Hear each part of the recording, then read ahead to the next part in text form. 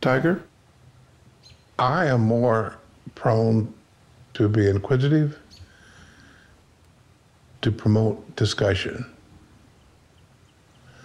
I want to find out what your thinking was. I want to find out what your feelings are. And did you learn anything?